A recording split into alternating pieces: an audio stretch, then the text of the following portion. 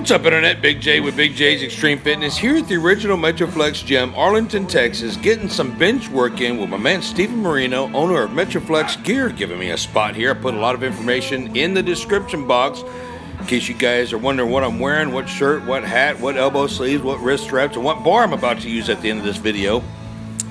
This is kind of a promotion video, but it's more along the lines of holy shit, I had never in a million years realized that this bar that I'm about to use at the end of this video would create so much more fluid movement in the press.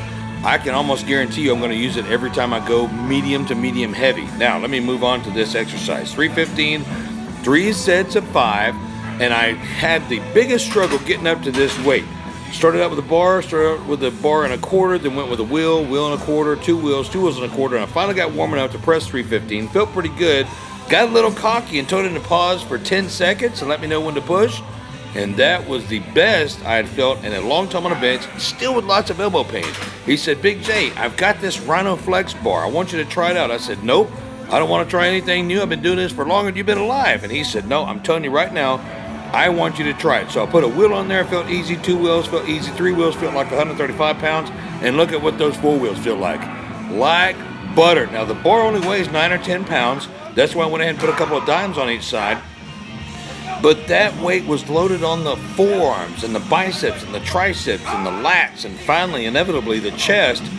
But I gotta say, this is not a sales video at all. I'm just letting you know, holy smacks, holy shit, I can't believe how good this weight felt. And yeah, I was burnt out because I pressed so many times, but I believe I could have went up to about 455, maybe even heavier. But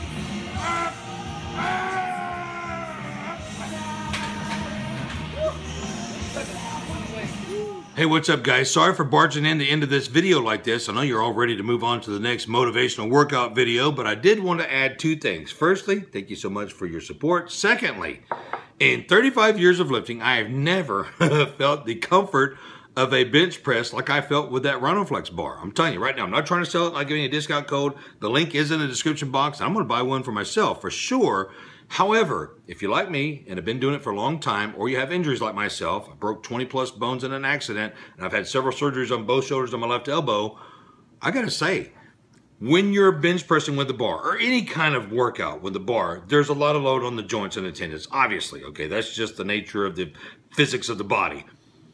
This bar did not load the joints like normal. I have no explanation with the exception of driving a Cadillac over potholes or driving a longer boat versus a shorter boat in waves.